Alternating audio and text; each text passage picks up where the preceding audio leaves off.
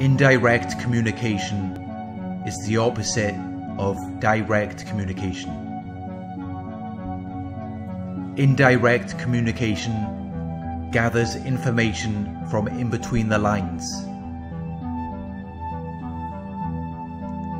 Instead of asking a question or commenting on a situation, the narcissist who uses indirect communication will go about in a roundabout way.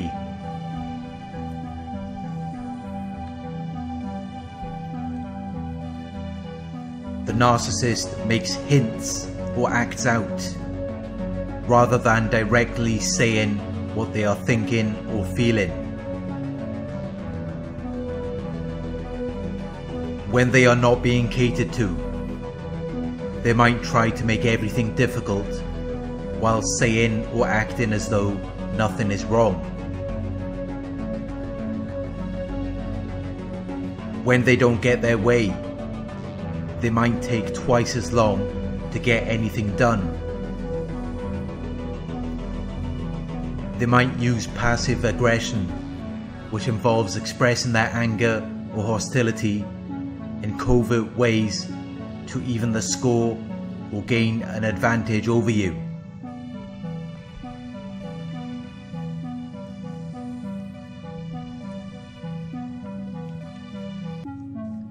Can be very covert, where they will often target your individual senses.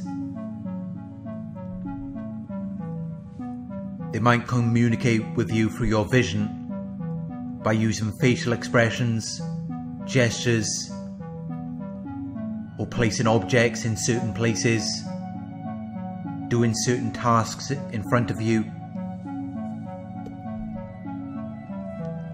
They might communicate with you through your hearing by changing their tone of voice, making noises, or using music to emotionally manipulate you, whether in a positive or negative way.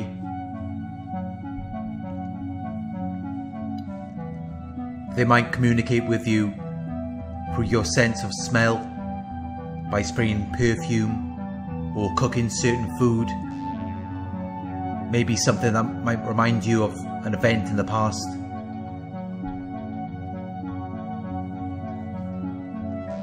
They might communicate with you through touch, by touching you in a certain way, maybe in a way that someone else once touched you. Or they might intentionally touch you in a different way to make you think that they have been intimate with someone else.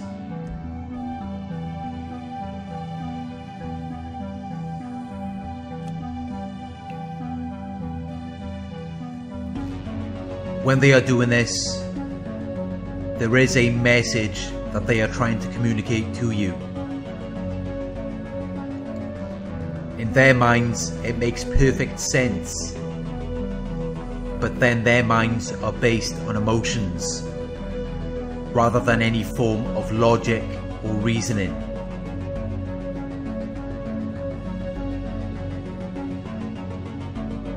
Narcissist uses indirect communication because they want your attention, but they are very cowardly and lack courage. They lack the strength that is required in the face of pain or grief.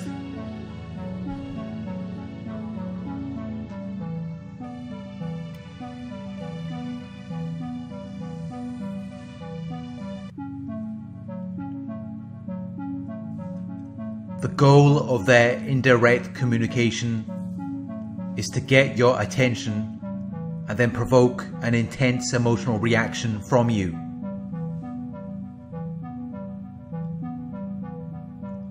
They hint or act out their feelings rather than saying them directly to avoid consequence or humiliation. They may also want to avoid conflict, where they may not have a valid argument or anything logical or reasonable to say.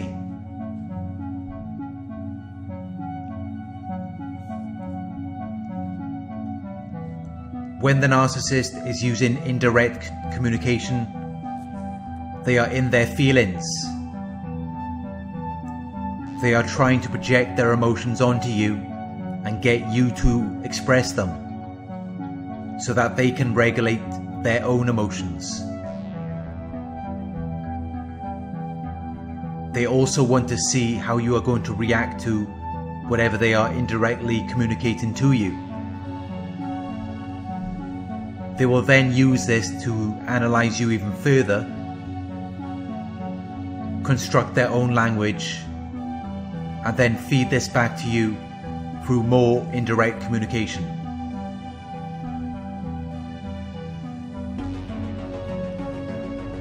They use this manipulative code that is indirect, well crafted, but makes no logical sense. It can also be very confusing.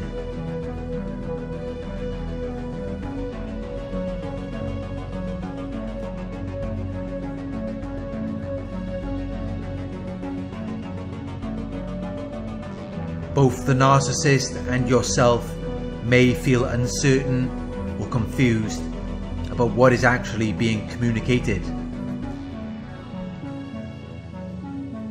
Because the communication is delivered in such a unfocused or imprecise way,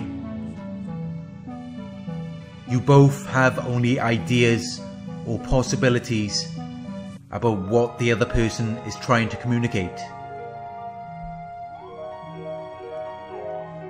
Both the narcissist and you may often find forks in the road where you have multiple ideas or possibilities. The odds are that more often than not, you will discover ideas or possibilities that are different than what the other person was trying to communicate.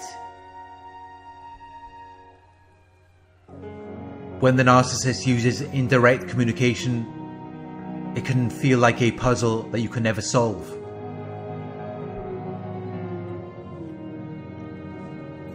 Even when you do think you have solved the puzzle, you can still feel uncertain, as there is no one to validate whether you have made the correct interpretation. This is where it becomes very confusing until you may then feel as though you have just ended up back where you started. At the beginning, knowing nothing about them. All of the years of indirect communication meant nothing, and everything you thought you had learned about them may have been your own thoughts and ideas which arose from the confusion or a misinterpretation of what the narcissist was trying to indirectly communicate to you.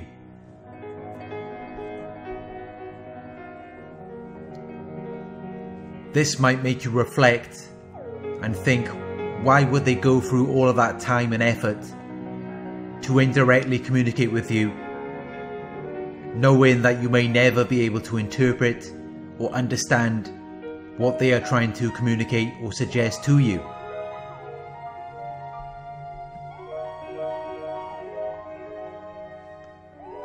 I don't think they initially intended for you to be confused or uncertain about what they were trying to communicate or suggest to you.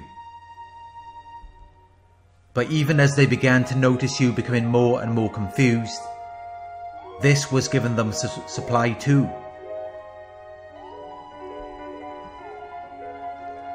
At that point, it didn't matter whether you understood what they were trying to communicate or not it was still giving them supply.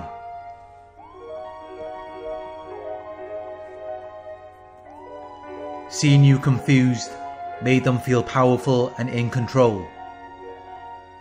It made feel as though they had some level of control over your thoughts and emotions.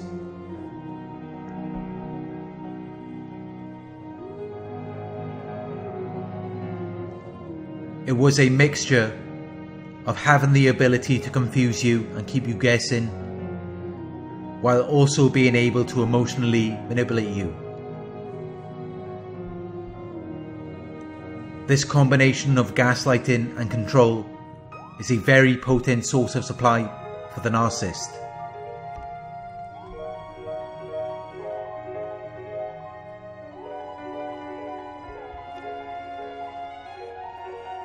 It can be very difficult to communicate with a narcissist.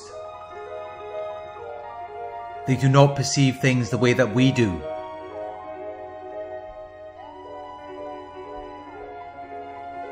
When you are trying to communicate with them, you are trying to reason with pure emotion. Emotion is unreasonable. It is not based on facts or logic. This is why you will often feel so disconnected from them and unable to understand what they are trying to communicate to you. There is no rhyme or reason when you are dealing with emotion.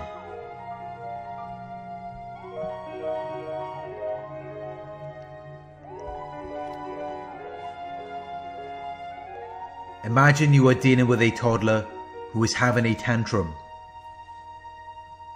You wouldn't try to reason with them because you know that they are not going to understand. The toddler only understands what they want and what they need. They have tantrums and scream because they do not have any other skills or tools to get their needs met.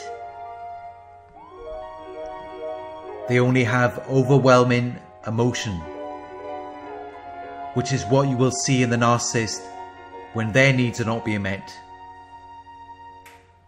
They shout and scream because they cannot meet these needs themselves.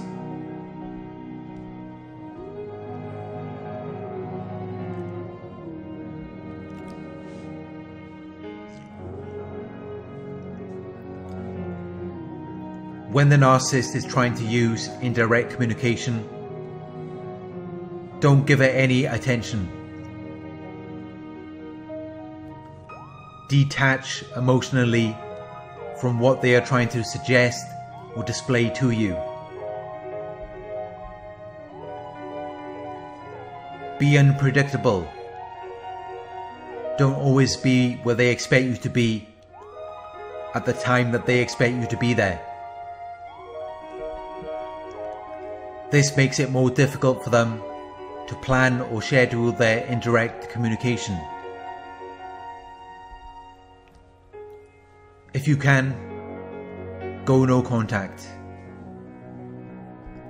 You will never reach a mutual understanding or a resolution with a narcissist.